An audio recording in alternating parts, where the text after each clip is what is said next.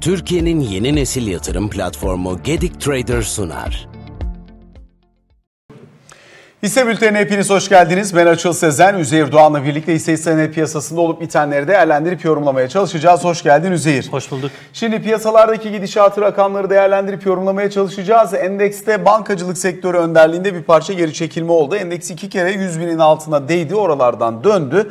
Dün Amerika-Türkiye ilişkileri üzerinden bir parça pozitif fiyatlama gördük. Bugün daha sakiniz.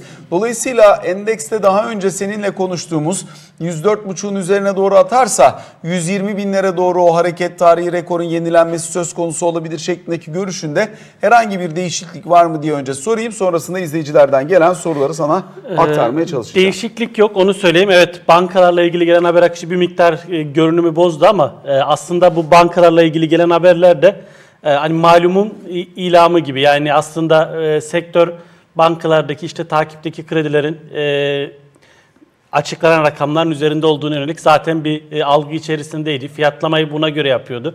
Endişesi buradan kaynaklıydı ve bir süredir de bu konuşuluyordu. Aslında böyle bir önlem gelebileceğine yönelik haber akışları da e, geçtiğimiz haftadan önce de gündemdeydi. Yine uluslararası e, bu ajanslara yansıyan haberler de vardı. Bu konuda bazı çalışmaların olduğu yönünde. Bunun geciktirilmesinin e, olumsuz etkisi bence daha fazla olurdu. E, böyle bir konu gündeme çıktığında hani bizim bir sözümüz vardı şu vukuundan beter diye. Böyle bir konu gündeme geldiğinde bunun e, neticelenmesi, sonuçlanması e, bu belirsizliğin devam etmesinden daha iyi kanımca. Elbette ortaya çıkan tablo bankaların 2019 karlılığından bir miktar e, götürecektir. Bunun da bankalar tarafında belki bir miktar olumsuz etkisi var. Ama zaten sektör bu değerlemeleri yaparken bu kayıp olabilecek kayıpları iskonto faktörü olarak değerlendiriyordu. Yani çarpanlar bazında baksan değerlendirmeye, diğer gelirler projeksiyonlara baktığında da e, burada bir miktar hep e, iskonto söz konusuydu. Belki piyasa bu saatten sonra o iskontoyu daha sınırlı alacaktır o belirsizlik tarafını ve bir denge sağlayacaktır kanaatindeyim. Ben hala açıkçası bu yıl belki biraz bankalar açısından yine bu son dönem karlılık açısından çeşitli olumsuzluklar olabilir ama gelecek yıla yönelik beklentileri temizlemesi açısından bu hamlelerin e, bir miktar e, pozitif etki olacağı kanaatindeyim. Hala bankaların e, ciddi cazibe fırsatı sunduğu bunun da endeksi e, yükseltmek için potansiyel oluşturacağı kanaatindeyim. Buradaki en önemli risk hep başından beri bahsettiğimiz hani ekonomik bu verilerden ya da bu açıklamalardan ziyade olası bir siyasi ya da jeopolitik e, sıkıntı. Yani örneğin Amerika ile ilişkiler olabilir, Suriye konusu olabilir, başka konular olabilir. Yani bu tarz bir sıkıntı görmediğimiz sürece ben endeksteki bu tarz haber bazlı geri çekilmelerin e, düzeltmeler niteliğinde kalmaya devam edeceği kanaatindeyim. O nedenle hala bankalara ve endeksi olan e, inancım devam ediyor açıkçası.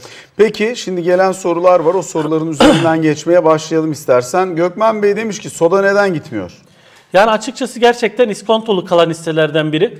Aslında e, burada birkaç tane etken var belki. Biraz soda külü fiyatlarının düşmüş olması bunu da etkiledi o düşüşte. İkincisi de bu Amerika'daki Ciner grubu ile beraber yapacağı yatırım. Bir yatırım harcamasının olma e, durumu e, yatırımcıyı bir miktar rahatsız etmiş gibi gözüküyor ama ben sodanın finansal görünümünün ve nakit pozisyonu bu yatırım rahatlıkla çevirebilecek nitelikte olduğu kanaatindeyim. O nedenle orta uzun vadeye biraz daha odaklanılırsa sodada e, bu fiyatların ciddi iskonto barındırdığı kanaatteyim ama dediğim gibi bugünden yarına fiyatlanması için belki bir hikaye olabilir.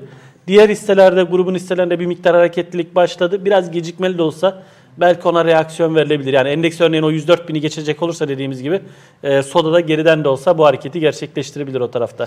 Devam edelim. E, Aselsan sormuş Cengiz Bey. Şimdi burada Amerika ile ilişkiler önemli. Eğer e, Amerika ile ilişkilerin evril, e, pozitif evrileceğine dair e, kanaat korunursa e, Aselsan'ın hala oldukça iskontrol olduğunu söylemek lazım. Yalnız 3. çeyrek genelde e, finansallar tarafında çok büyük beklentilerin olmadığı bir dönem. Biraz daha belki hareket 4. çeyreğe kayabilir. Yani 3. çeyrek finansallarını gördükten sonra olabilir. 4. çeyrekte kamu ödemelerinin falan yoğunlaştığı dönem e, bu tarafta biraz daha gelirlerin arttığını ve e, daha iyi sonuç açıkladığını görebiliriz. Bu da hareketin biraz daha gelecek yıla sarkmasına sebebiyet verebilir. Yani kısa vadede biraz yatay kalabilir. Orta uzun vade içinse zaten oldukça iskontrol olduğu kanaatimi kuruyorum o tarafta. Erdemir sormuş bir takipçimiz. Ee, dün e, Amerika ile ilgili gelen haber akışları e, aslında kısmen pozitifti. Daha sonra S-400'e bağlanması bu sürecin e, sürecin biraz negatif etki oluşturdu ama e, totalde baktığımızda e, sektör açısından hep söylüyorum e, yani iskontolu şirketler evet iskontolu gözüküyor ama e, çok da hızlı büyümeyi gerektirecek bir atmosfer yok. O nedenle ben 3. çeyrek özelinde hep söylüyorum yani demir çelik sektörüne biraz daha e, mesafeli yaklaşmak gerektiği kanaatindeyim. Feraye Hanım Anadolu İsuzu sormuş. Yani otomotiv sektörü içerisinde e, genel itibariyle en zayıf finansalların olduğu şirketlerden biri. Dönem dönem geçtiğimiz sene olduğu gibi bazı ihale haberleri bir miktar hareketlilik getirebiliyor ama e, genel itibariyle zaten sektör e, bir zayıf bir dönem geçirdi. E, Asuzu da e, bunun paralelinde olduğu kanaatindeyim. E, belki son çeyrek e, kampanyalar vesaireler gündeme gelmesiyle birlikte ertelenen talebin devreye girmesi biraz söz konusu olabilir. Konutta bir hareketlenme başladı düşen faizlerin etkisi. Son çeyrekte de e, otomotiv sektöründe e, kampanyalar ve e, düşen faizlerin etkisi bir miktar hareketlilik getirebilir ama sektör içerisinde dediğim gibi e, örneğin e, bir Froto'yu e, daha çok beğendiğimi ifade edebilirim bu tarafta. Yine otomotiv üzerinden gidersek Goodyear sormuş bir takipçimiz. Ee, bana kalırsa e, borsanın en iskontolu fiyatlanan şirketlerinden biri ama burada e, işte yönetimin belki temettü yaklaşımı vesaire gibi konuların da etkisi var. Ee, biraz daha e, hani faaliyetlerine baktığınızda e, görece iskontolu ama e, dediğim gibi çok ekstra bir fiyatlanmayı gerektirecek de bir e, yönetim anlayışında vesaire değişim olduğunu düşünmüyorum. E, artı otomotiv sektöründeki yavaşlamanın e, yan taraftaki diğer tüm sektörler üzerinde de olumsuz etkilerini görüyoruz. Bunda Goodyear'da da bu etki var. E, Birisa'da da bu etki var. E, ben ucuz olmasına ucuz ama fiyatlanması için bir katalizör görmüyorum. Hani ucuzluktan e, gerekçe olarak, alım gerekçesi olarak değerlendirilecekse de ben Birisa'yı biraz daha bu fabrika yatırımının sonlanma e, beklentisiyle biraz daha ön plana çıkarıyorum açıkçası. Mavi'deki geri çekilme düzeltme mi diye sormuşlar. Mavi sizin önerdiğiniz hisselerden bir tanesiydi. Evet. Geçmişte iyi de bir performans gördü. Evet yani özellikle bu yıl ciddi bir performans gösterir son- dönemde özellikle. Ee, Biraz bu e, daha önceki zirve seviyelere yaklaşmış olması hala e, temelde e, bizim araştırma biriminin raporuna göre getiri potansiyeli var ama teknik açıdan şu e, gördüğü zirve seviyelere yaklaşmış olması, son dönemdeki o büyük kanalın üst bandına gelmiş olması biraz e, dirençle karşılaşmasına sebebiyet veriyor. E, Onun da etkilerini görüyoruz zaten dün bugün. E, Bir miktar orayı geçmesini beklemek, şu son birkaç günde gördüğü zirveleri geçmesini beklemek yeni alım için daha sağlıklı olabilir kanaatindeyim. Petkim'de darda kalmış, zorda kalmış birçok yatırımcı var. Onların soruları ne zaman hareket eder, ne olur, Yani e, şimdi nasıl şöyle, gider diye. Petkim yatırımcısı gerçekten uzun vadeli yatırımcı oldu onu söyleyeyim. Üçüncü çeyrek bir miktar pozitif beklentiler vardı. Bizim de aynı şekilde marjlardaki iyileşmenin de bir miktar finansallar destekleme beklentimiz vardı ama şu Suudi Arabistan'daki Aramco'ya saldırı, petrol fiyatlarının ciddi volatilitesi ve hızlı yükselişi ilk etapta Petkim tarafında da endişe oluşturdu ve bunun nedeniyle satışları gördük. Ee, en azından petrol fiyatları bir stabilite kazanana kadar Petkim bunun bir miktar e, sıkıntısını yaşayabilir. Orta uzun vade için bu fiyatlar hala çok cazip olduğu kanaatindeyim ama şu risk var. Ee, gelecek yıl biliyorsun Mart'ta Petkim'in Star Rafinerisi'nin 3. taksit ödemesi gerçekleşecek. Bu nedenle 2019 sonu karından yani temettüsünden verim yine düşük kalabilir. Bu da yabancı yatırımcıyı bir miktar e, buradan uzaklaştırmış olabilir. O ödeme yapıldıktan sonra şu yatırım konusu da netleşirse yeni bir e, petrokimya tesisi sonrasında tekrar Petkim'in normal temettü seyrine dönmesi vesaire temettü yatırımcısını tahtaya çekebilir. Yani oradaki hareketlilik biraz daha gelecek yıl işte bu Mart, e, Nisan geçtikten sonra e, başlayabilir kanaatindeyim. Emlak, konut ve halk e, GYO haberleri, e, soruları var. Onları da bir parça sormuş Şimdi, olayım sana. e, Biraz hareketlenme var gibi var çünkü. konutlarda çok iyi bir bence trend yaşıyoruz. Şimdi Ağustos ayı rakamları fena değildi. Yani Ağustos'un da şöyle düşünmek lazım. Bayram ve öncesi, bayram ve sonrası. Yani aslında çok kısa bir dönemde Ağustos ayında konut satışları fena gelmedi. Eylül ayı bana kalırsa yani en azından benim e, iletişimde olduğum e, sektörün nabzını e, yoklayan kişilerden de e, çok ciddi bir konut satışı var. Yani Eylül ayı rakamları gerçekten yüz güldürecek konut satışları tarafında. Konut fiyatlarında da zaten kısmi de olsa artışlar söz konusu.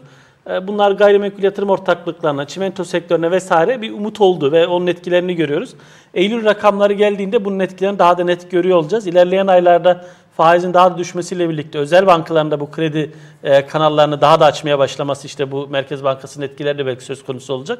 Bir miktar toparlanma devam edebilir ama bu trend değiştirici değil. Yani e, hala e, işte çok ciddi bir yeni projeler vesaire görmüyor olacağız. O nedenle kısa vadede birkaç aylık dönemde e, biraz daha bu yükseliş devam edebilir. Ama şu aşamada bunun trend değiştirici olduğunu söylemek bana kalırsa zor. Halk için de aynı şeyi söyler Aynı şey misiniz? ikisi için de geçerli. Alt tarafında belki biraz daha bu İstanbul Finans Merkezi projesine ağırlık verileceği yönde tekrar açıklamalar gelmeye başladı. E, belki onun biraz daha pozitif etkilerini görebiliriz. E, ama e, totalde baktığımızda genel trend de ikisi için de olumlu. Türk Hava Yolları.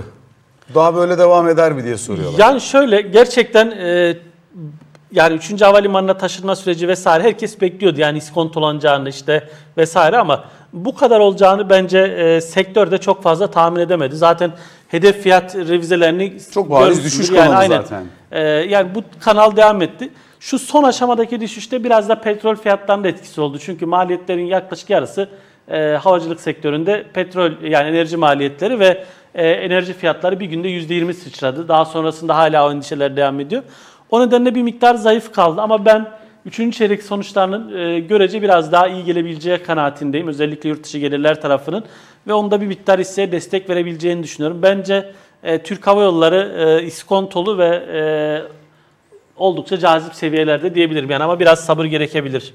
Peki diğer sorularla devam edelim. TAV sormuşlar. Hazır Türk Hava Yolları Ee, konuşmuşken. TAV benim e, beğendiğim hisselerden biri. Yani uzun dönemde de onu söylüyorum. Yani aslında hala potansiyel olan şirketlerden biri. Burada belki birkaç tane belirsizlik. Örneğin Atatürk Havalimanı'ndan ne kadarlık bir gelir elde edeceği, onun netleşmesini de belki biraz beklemek lazım. Oradan e, girecek nakit. Artı TAV'ın yeni havalimanlarını portföyüne ekleme potansiyeli bence uzun vade için hala cazip. E, fiyatlar pahalı diyemeyeceğimiz seviyelerde bana kalırsa. Özellikle ilerleyen dönemde işte yeni havalimanının portföye eklenmesi, bu devlet hava meydanlarından alacağı ücretin netleşmesi e, TAV'da bir miktar daha heyecan yaratabilir. Bence e, portföylerde bulundurulabilecek şirketlerden biri hala. Migros soruları gelmeye devam ediyor. Ee, bu sene hep söyledik. Yani aslında geçen sene de ben hep şunu bahsetmiştim. Yani faaliyet karlılığı yüksek ama kurdan dayak yemiş şirketler 2019'un ön plana çıkan şirketler olabilir diye. Migros da onlardan biriydi. Faaliyet karlılığı oldukça iyi giderken kurdan dolayı geçen sene çok dayak yemişti. Bu sene kurun özellikle Mart'tan Nisan'dan sonra biraz daha e, görece olarak istikrar kazanmış olması Migros'un faaliyetlerinin net kâra dönüşmesini e, teşvik eden bir durum oldu ve bunun fiyatlamasını gördük ve kur böyle devam ettiği sürece de bunu görmeye devam edeceğiz. Çünkü e, evet çok ciddi bir yükseliş var e, son dönemde ama hala potansiyeli olduğu kanaatindeyim. Kur riski e, bir kısmı eclenmiş olsa bile yani e, kurda ciddi bir volatilite görmezsek e, Migros tarafında yükseliş e, bir süre daha devam edebilir diye düşünüyorum. Aygaz. E, Aygaz şöyle aslında bu e, stabil görünümü olan şirketlerden biri diyebilirim benim için. Yani çok fazla faaliyet alanı değişmiyor ama son bu Suudi Arabistan'daki saldırılar sonrasında aslında biraz pozitif fiyatlanan bir görünüm çizdi ilk gün. Sebebi de şuydu. E, Aygaz e, yasa gereği de e, belli bir stok tutmak zorunda.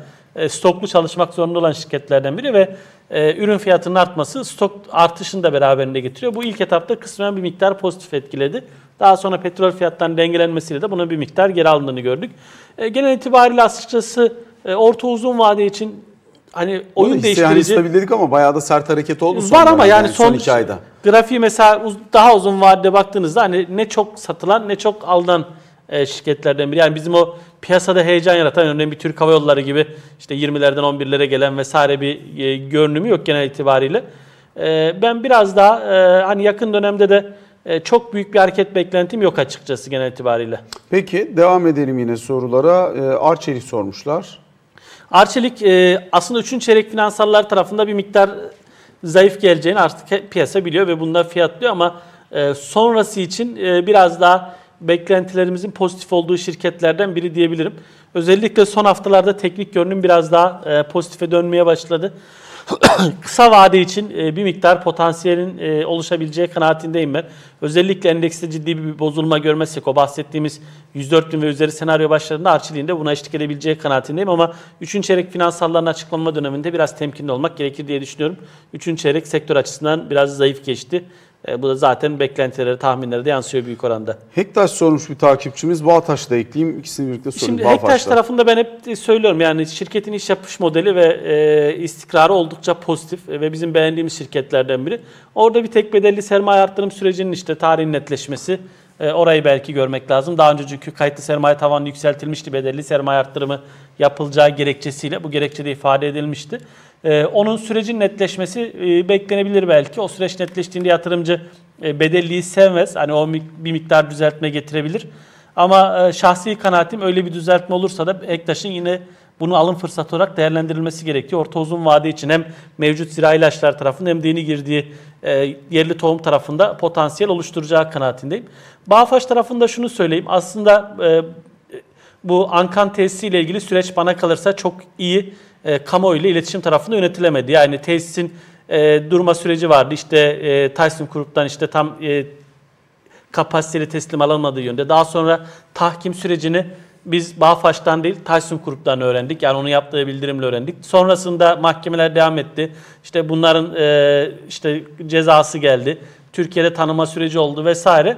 Fabrikanın akıbeti konusunda çok net bilgi verilmedi. Geçtiğimiz günlerde e, bir rapora ya da bir habere yansıyan e, unsurda e, fabrikanın %85'e yakın kapasiteyle çalıştığı yönde bir haber vardı. Ama zaten bunun fiyatlaması da büyük oranda yapıldı. Ben hep sene başından itibaren şunu söylüyordum. Yani Türkiye'deki e, bu süreç netleştikten sonra muhtemelen fabrikanın devreye girdiği yönde haber akışı gelir ve bu da Bağfaş'ı çok ciddi pozitif etkilerdi. Haber resmi yollardan gelmemiş olması bana kalırsa bir miktar e, negatif e, şu son dönem için. Çünkü önceden ciddi manada fiyatlaması vardı. Ben açıkçası o yükseliş ve ardından e, mevcut konsolide süreci biraz temkinli olurum şu aşamada. YouTube'dan gelen sorular var. Onları da paylaşayım. Bugüne kadar gelmiş en ilginç sorulardan bir tanesi PlayStation 3 oyun yardım merkezinden gelmiş soru. Halk Bankası soruyorlar nasıl olur diye. Bir de tek ben sorusu var. Hem YouTube'dan gelen hem yine Periskop'tan gelen. Şimdi Halkbank şöyle yani e, elbet bankacılık sektörü elbette iskontolu. Bunu kabul etmek lazım. Halkbank eks, ekstra iskontolu. Ama Halkbank üzerinde iki tane sıkıntı var. Bir, kamu bankalarının şu dönemde işte faizlerdeki düşüşe öncülük etmiş olması, marjları eritiyor olması. Bu birinci olumsuzluk. İkincisi de Amerika ile olan süreç her gündeme geldiğinde Halkbanka'ya çok pozitif yansıyor, çok negatif yansıyor.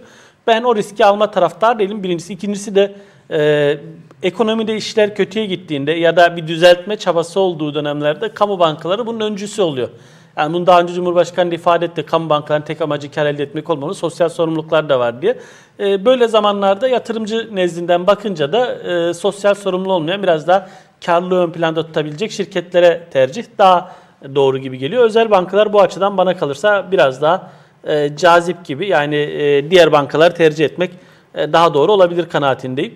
Tekven tarafında şöyle söyleyeyim. Yani o geçtiğimiz bilanço döneminde açıklanan işte bazı işlerin erken bitirilmesi, bunların tahsilatının gerçekleşmiş olması, bekleyen iş büyüklüğünün düşmüş olması Tekven tarafında beklentileri bir miktar azalttı. Yani 3. çeyrekte, 4. çeyrekte yeni bir proje alamazsa işte bekleyen iş büyüklüğü azaldığı için ilerleyen dönemde karlılıklarda düşebilir endişesi oluştu.